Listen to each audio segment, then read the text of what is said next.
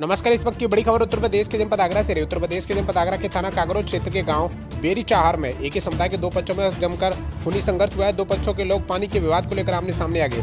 दोनों पक्षों के बीच जमकर मारपीट हुई।